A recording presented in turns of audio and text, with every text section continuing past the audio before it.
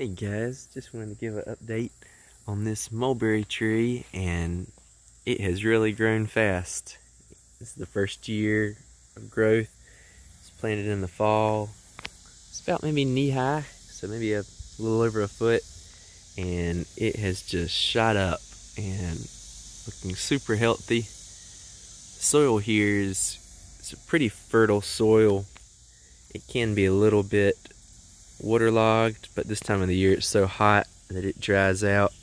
And uh, I mounded up a little bit around it when I put it in, but not a whole lot.